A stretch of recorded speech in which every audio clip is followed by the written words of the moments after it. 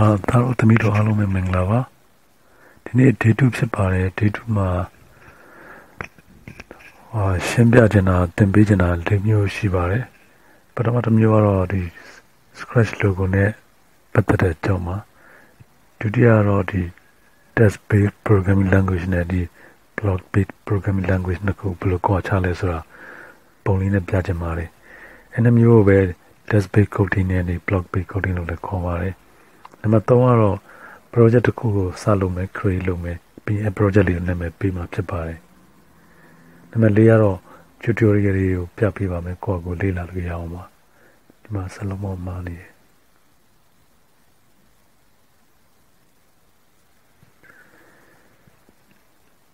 ဆိုတော့ပထမဆုံးကျွန်တော်တို့ဒီကြောင်ရုပ်လေးကြောင်ပြောပြပါမယ်ဒီကြောင်ရုပ်လေးကဒီ scratch ရဲ့ official logo ဖြစ်ပါတယ် သူ့နာမည်ကိုကျွန်တော်တို့ဗမာဆန်ဆန်ကိုပူစီလို့နာမည်ပေးပါမယ်ဒါတော့ဒီကြောင်ရုပ်လေးကြောင်ပါဒုတိယအနေနဲ့ကတော့ဒီ programming language နှမျိုးဘယ်လိုခေါ်ချလဲဆိုတော့ပုံလေးနဲ့ပြပေးပါမယ်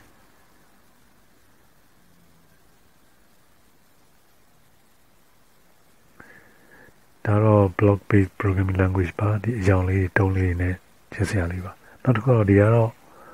လူကြီးတွေ software တကယ်ရေးသားတဲ့ programming language ပါ test test based coding test based programming language လို့ခေါ်ပါတယ်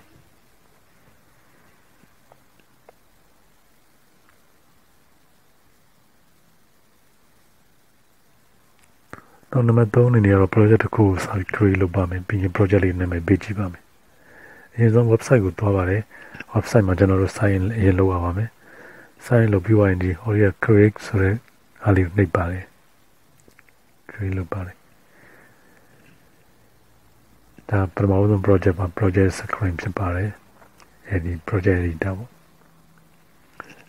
ဒီမှာနာမည်ပေးပါမယ်ခင်ဗျာနာမည် entitle ဆိုနာမည်မရှိပါဘူးဒီ project နာမည်ပေးပါတယ်အလွယ်ပေးတဲ့ကိုပူစီလို့နာမည်ပေးပါတယ်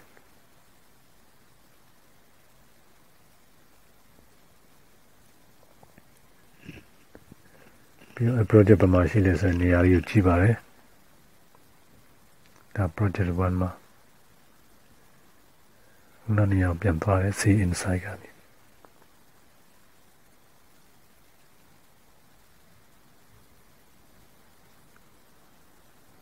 ဒါတော့ဒုတိယ project ကိုပထမ project တစ်ခုမပြီးခင် create လုပ်ပါတယ်ဒုတိယ project create နေတယ်နေပြီးတော့ ဒုတိယ project နာမည်ပြီးပါတယ် Cobrusi 02ဒါကျွန်တော်တို့ project ဒီမှာရှိလဲကြည့်ပါတယ်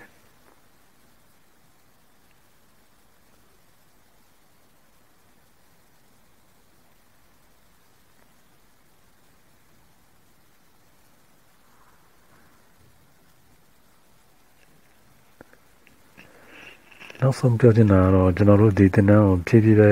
တင်ပေးနေပါတယ်ဘာဖြစ်လို့လဲဆိုတော့မလိုက်နိုင်တဲ့လူတွေများမှာဆိုလို့ဖြစ်ပါတယ်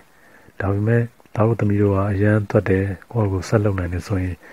ကြိုပြီးတော့သွားနေမှာအားကြောင့် tutorial တွေကိုကြိုပြပေးပါမယ်